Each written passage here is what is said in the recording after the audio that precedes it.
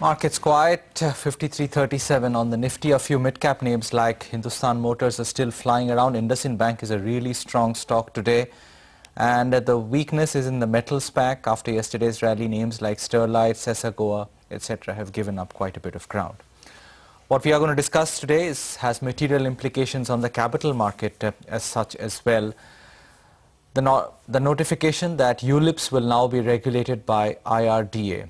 You will remember the controversy between IRDA and SEBI which led to a complete freeze in ULIPs as a product and that's been one of the central products offered by insurance companies through which a lot of money got fueled into the capital or the equity market as well. To talk about uh, where this is headed, Deepak Satwalekar, who is the former MD and CEO of HDFC Standard Life, with him Sumeet Vaid of Ffreedom Financial Planners for an expert perspective. Gentlemen, thanks for joining in.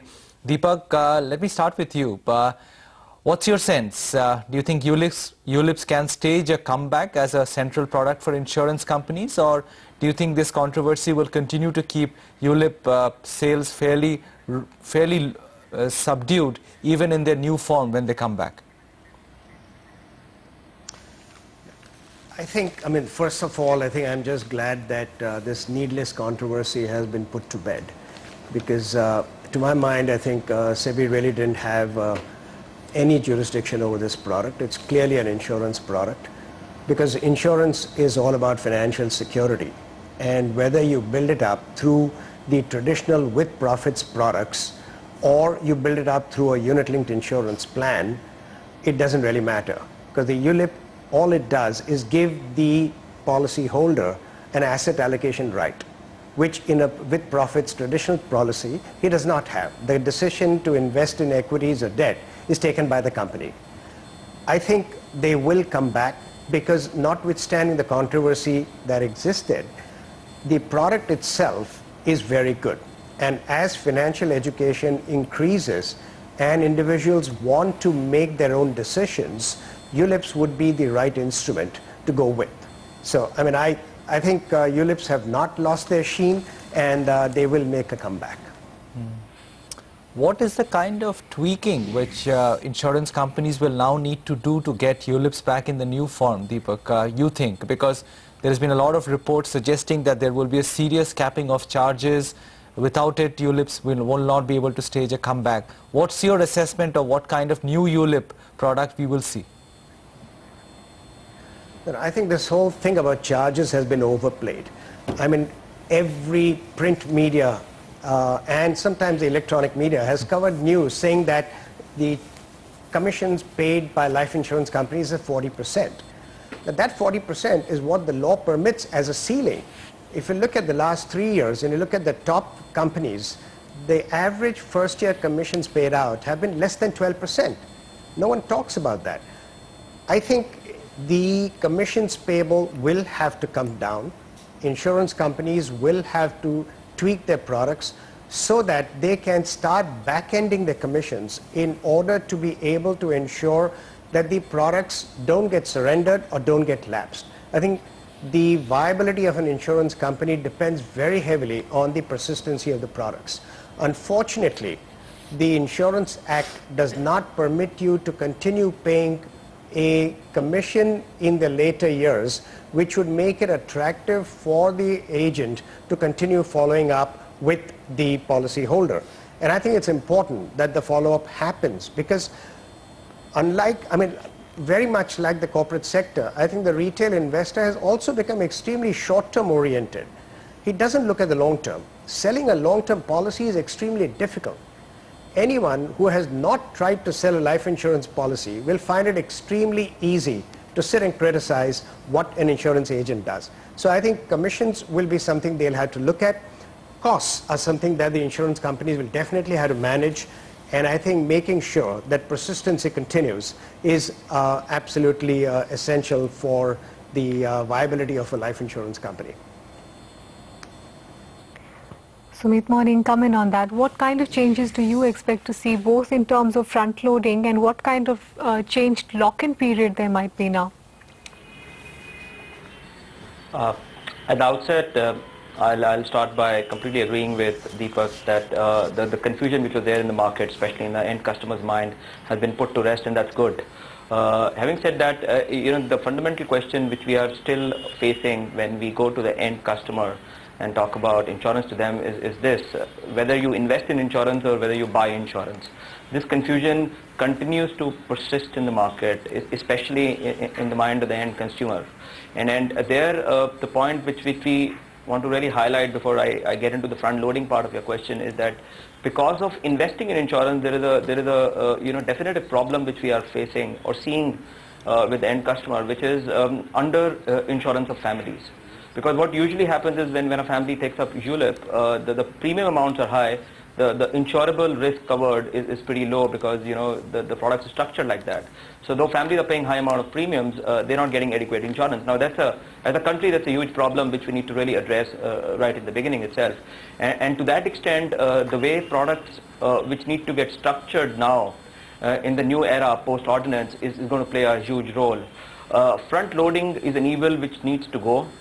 It has been put to rest in mutual fund as a product it needs to be it needs to be done with uh, ULIP also and also uh, somewhere we need to emphasize uh, uh to public and mass uh, um, that insurance uh, as a risk comes first and insurance as an investment comes second. Mm. Just to understand the impact on flows, the flows in the last three months or so in terms of a dip and how much you expect it to recover to?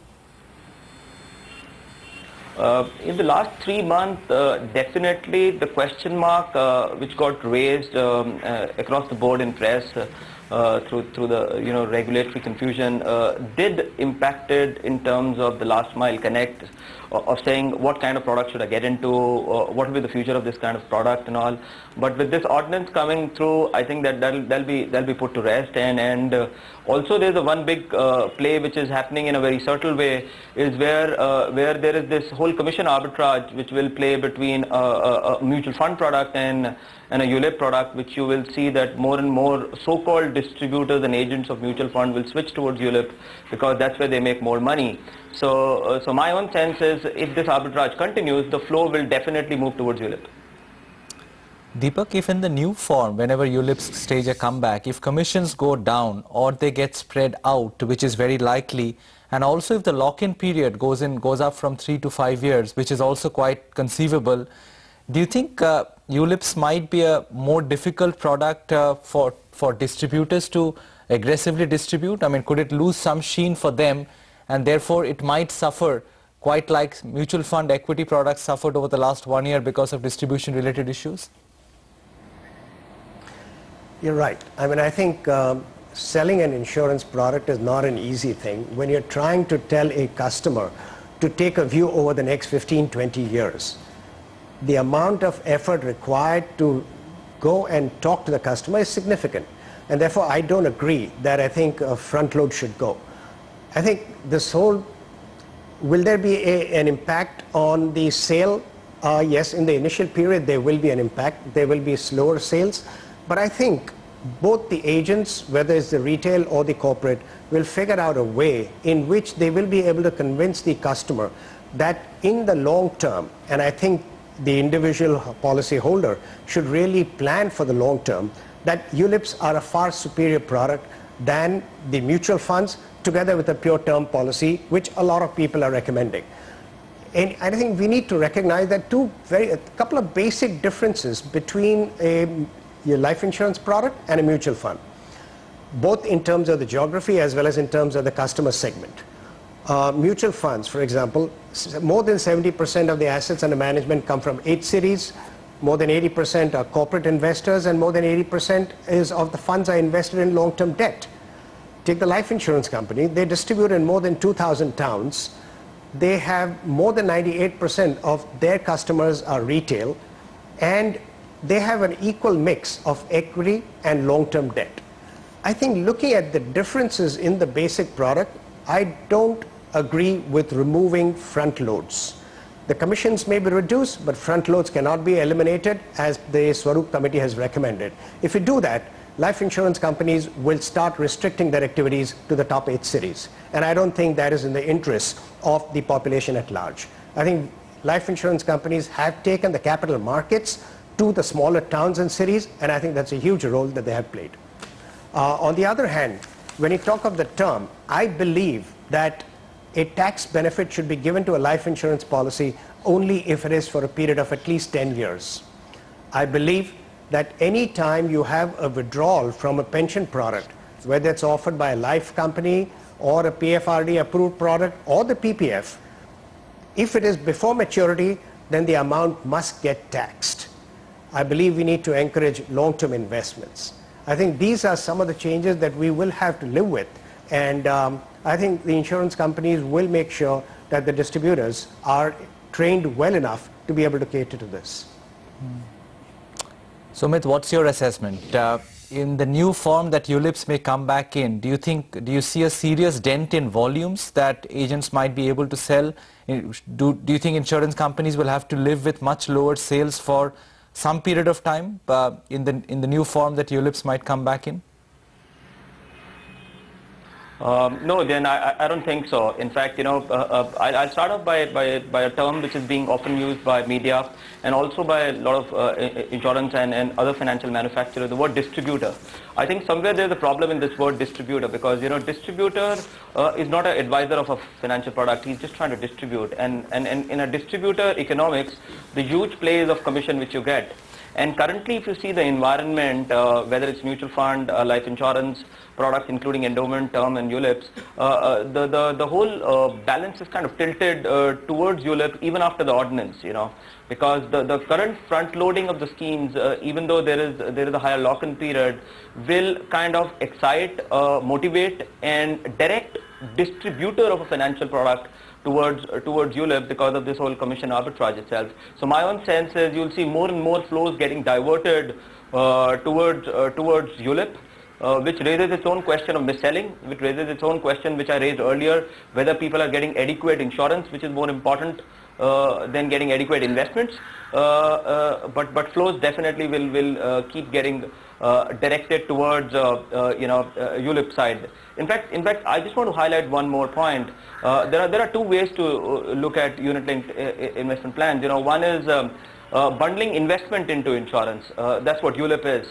Uh, there can be another way of doing it. You know, you can bundle insurance into investment. That means, you know, you come up with mutual fund SIPs, which have life insurance bundled into it. And I very categorically remember uh, around about last year, there were many schemes which were launched by asset management companies which had that kind of a feature. And they were much more easy on the charges, cost, front loading for the, for the end customer. But somehow over a period of time, you know, uh, I think insurance companies or, or uh, the whole industry per se uh, didn't support that idea and, and, and that really died its own death. But, but if we if we look at the situation as investment plus insurance, it will be much more healthy from a financial plan of a, of a family perspective. Thanks, gentlemen, for joining in with your thoughts on this matter. The market remains down about 20 odd points. The Nifty at 53.34. We'll come back and talk about uh, stocks which are moving this morning.